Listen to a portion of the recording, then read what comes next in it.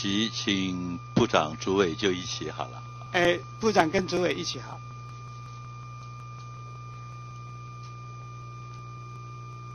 呃，主委、部长早安。好的，呃，我先请教一下部长啊，今天这么大的新闻啊，防衰退，经济部要百亿投资服务业哈，这个呃这样的一个计划，我们在您的报告中啊，怎么没有看到？是什么原因？部长说明一下。报告，这是一个我们正在研拟的一个构想，因为。目前政府对制造业的各种的投资工具比较多，对策略性服务业，对是小型正要成长的服务业需要资金的话呢，还有很大的空间可以来努力。所以目前经济部准备洽商国外基金呢来做专门的工作，大概是这样来。在经济部定案没有？啊，我们内部已经朝这个方向在规划，等于是要去跟国发基金再来商量。我知道在部内已经定案了嘛，只是在跟呃国发基金商量啊。是的。这个计划，所以会提会有这样的一个计划，是不是要因为面对二次衰退而做的准备？是不是？我想基本上应该这样讲，台湾整个的经济发展已经会从过去制造为主，到变成制造跟服务要并重的阶段在那边，所以对制造业呃对服务业要更加把劲，所以这个跟刚才提到的那个概念，我想是。可以说是不是直接相关，并没有。呃，国发基金会同意，你有把握吧？啊，我们尽量来争取，是的。这个上面讲的，呃，大家看了有一点五煞煞的啊，就是扶持加盟连锁店跨足海外市场啊。所谓的加盟连锁店，部长能不能举几个例子给我听？你指的是什么？我举例子，比如说目前国内有很多的非常做得很好的这一些服务业，它可能到海外去发展，要扩展要展店需要资金，这资金目前很多是从创投你讲加盟连锁店，你你你能不能举一两个例子？我想行业很多，譬如说有做饮食的，有做各种服务的，这种国内呢目前是相当多。我打个比方来讲，目前单单国内加盟连锁的总部大概就有两百五十个，跨到各行各业。嗯。那你要扶助他去怎么跨足海外市场呢？这当然，假设有这么个机制在，有这个基金在，我们会他要提计划，这计划经过审议，审议通过之后才会投资，这是一般的标准作为程序。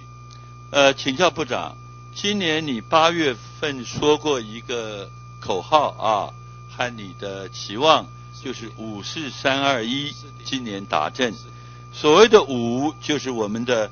呃，经济成长率保五啊，但是是后来主计处呢，把它给下修成四点八一。IMF 国币基金会把它预估台湾的 GDP 是小荣从第一降成第三，而宝华综合经济研究院昨天更把它修到四点七三。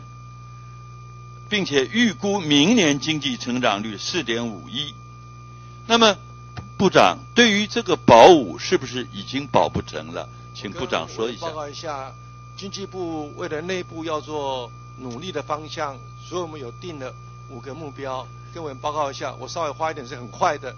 第一个，一，我们是希望说今年至少经济部负责的民间投资能够超过一兆，这看起来已经有机会达到。这第一个。第二，我们希望 CPI 的这个物价指数的这个通货的这物价的这个上涨率啊，不要超过百分之二，这看起来也会做得到。第三个，希望今年的明目的薪资成长能够到百分之三，这看起来今年也做得到。另外两个就委员刚刚提到的，一个是呢，我们希望就业率能够往下降，能能不能降到四？但是经业成长率保五保不了。那那第五个，那这就回到第五个。那目前看起来的话呢，要保五需要很大努力，特别要看第四季。第四季，第四季目前各界的看法是很分歧的。有一部分的业者认为说，第四季呢会比第三季好，但是有业者认为说，第四季的订单接单情况看起来不如第三季，这中间还是有一些空间在讨论之中。好，这个如果碰到了二次衰退，你认为国内的厂商挺不挺得住啊？我跟委员报告，目前台湾的整个出口的这个市场的结构，那台湾是还是外销为主，那基本上的话呢，目前我们出口结构新兴市场，包括大陆、包括东南亚，比重占得很高。所以，假如是以欧美的在线发生的这些困难为主的话呢，我想只要我们的新兴市场还能够有一定的动能的话呢，台湾应该挺得住。不会厂商挺不住，又以无薪假这种方式处理的情况发我生。各位报，厂商种类很多种，而且每个厂商出口市场不见得一样，所以难免可能有厂商他出口市场主要是集中在某一些发生问题地方的话呢，它可能比较辛苦，有些可能不是，所以这可能要看个案再做一个分析。好，我我请教主委啊，呃，经建会前天公布八月景气的情况哈，景气对策的灯号啊，从绿灯转成黄蓝灯，是的，八月的景气领先指标也连续二十一个月下滑，这是历史上最久的一次。诸位，我们的经济是不是整个的景气趋缓了？这个情况继续会恶化到什么程度？请诸位答复一下。是我们现在看到这个趋缓的状况是有在发生中，那只是说它到底趋缓，它时间会维持多长？那是会继续趋缓下去，还是会回头走？这个真的答案完全几乎完全是取决于欧洲的问题会不会得到解决。美国虽然景气不好，可是它至少没有什么立即的危机。那欧洲现在的状况就是说，每一次它碰到危机就有人来救。或者等着人家来救，那救了以后，因为它究竟是一个短期的措施，所以它会不会再爆发下一次的问题？这个就还是这个需要看欧洲的情况才能决定我们的状况。呃，主委，经济部有官员表示啊，说是这个呃景气的趋缓呢、是会到年底啊，会到年底。你同不同意这个时间？我们也觉得，就是我刚刚说第四季哦不会比第三季好，就是能够维持第三季已经就是非常好的一个状况。是不是在可见的将来一季会比一季坏？呃，也也也没有这么明朗了 哈，也没有这么明朗，因为就是说明年的情况，其实现在很多，就像刚才部长也讲，现在国际上的也大家看法都是相当的分歧。可是第四季看起来，呃，这个看起来，尤其他们看整个这个圣诞节的订订单等等，看起来并不是很乐观。欧美的情况不是很乐观。呃，您曾经提出四大警讯，今天我在您的报告啊中间也看到了，你仍然是提出了不少的警讯。你是不是觉得我们的台湾的人民要有心理一点准备，有可能要过比较苦的日子，是不是这样子？我想，其实人民端是呃是还好，可是这个警讯，我们也希望就是说，整个社会大家都要了解。所谓了解，包括在于说，我们有一些因应对策，可是这些因应对策一定要有社会上的共识，才比较容易达成。举例来说。举例来说，我们需要尽快的能够排除一些投资障碍，这是很重要的。可是如果大家没有这个认识说，可能后面的不是像去年那么好的话，大家在这个松绑法规松绑上面速度就会比较慢。那所以我们这个提出警讯，一方面是对政府所有的政府部门、中央跟地方，然后也对于企业界，那当然人民也是让他们有一点心理准备。可是我们也不希望说，呃，只只特别这个讲这个负面的，因为我们究竟也有很多正面的消息，所以我们把它全部都呈现出来。是，呃，请教主委，你觉得我们的经济成长率今年能保五吗？我们因为金建会去年年底定的时候就是定四点八二，那定四点八二，所以我们没有特别，我想就像经济部说的，五是一个目标了哈。可是我们金建会去年是希望能够达到四点八，那今年的话，我们看到就是尤其是第三季以后，全面全世界都下调，所以我们认为就算比这个四点八下调一点，也不是太严重的事情。重点其实还是在于说，我们能不能在维持在亚洲里面还是前段班？因为只要能够维持前段班，我们看到最近有非常多的国际企业，它都到台湾来，那加码投资，然后甚至设这个加码的这个中心等等。那这个部分能够力道能够持续的话，其实台湾就会就会撑过。呃，主委，你能不能具体说一下，怎么成为释小龙的前段班？好，这个呃，从二零零八的海啸发生以后呢，这个世界银行、这个 ADB 亚洲开发银行等等，就一再呼吁亚洲的国家一定要尽快转型。所谓转型，就是说不要再像以前一样那么依赖出口，然后即使出口也不要像以前一样那么依赖欧洲跟美国。那所以这个这三年来的，其实各个国家的竞赛就是说谁能够转型的最快最好。其实谁就会比较能够这个维持在前面。那台湾的转型在去年大家都看到成长率是十点八八，可是比较忽略掉说十点八八里面我们的投资真的就是亚洲远远的第一名，我们是成长三十二趴，加上政府跟公营事业是二十三 percent。香港、新加坡跟南韩都是低于百分之十，所以这里呢，其实在国际上非常清楚的，就是说，在这个这一波二零零八到现在的转型，台湾转型的非常好，那我们要继续这样的力道。可是重点是说，我们要很多松绑的事情，我们要继续的持续松绑，才会有吸引力。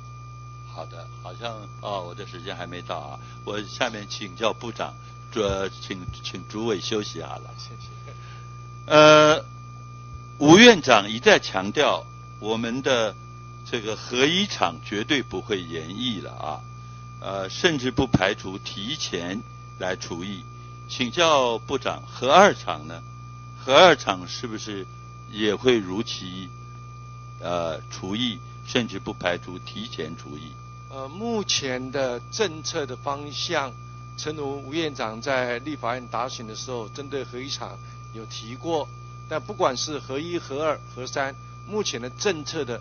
方向的倾向是不延役，不延役，所以我们才把那个延役的申请从联能会把它撤回来。这第一个报告。那第二个，在行政院也讨论过，假设合适运转能够顺利稳定的话，而且安全无虞的话呢，那么就可能核一厂有可能会提前来除役。那这个要时间去衔接，衔接。但是核二情况是不一样，因为它时间比较后面。所以要看后面整个的台湾的供电的情况，因为我们基本上还是要做到不缺电的一个要求在那边，所以这可能要看点时间的演变来做规划。是，现在有发现啊，有三角断层在核一、核二厂的地方，那么原能会已经公开表示，质疑核一厂的耐震程度，并且要求台电在本周五就提出报告。如果体检不过，核一厂要立即停机除役。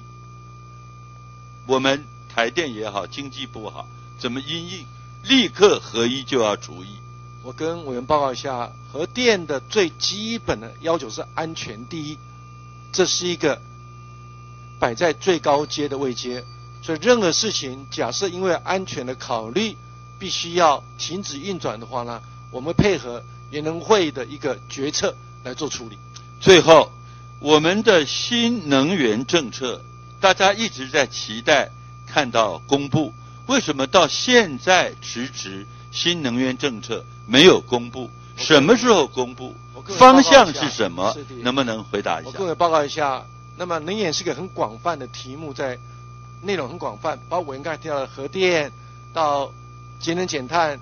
到再生能源，这题目很广泛，在那边，我们现在对于不同部门的内容都在有做深入的研究，我们会逐步的针对不同部门呢，会把这个整个研究的结果跟新的措施呢，会提出来跟各位做社会做说明，因为它内容相当的广泛。呃，大约什么时候社会能看到新能源政策？打个比方来讲，今天在报告里面可能没有讲得很清楚，已经把再生能源的目标提前准备推动。这个风力机准备推动太阳光电百万富，大概都做过简单的叙述在的地方，这是个例子，所以我们会依序的、依序的把每个成熟东西拿出来跟社会做报告。好，因为能源政策大家越来越关切了啊，这个希望大家能看到一个完整的能源政策，及早公布，好不好？谢谢部长啊，谢谢。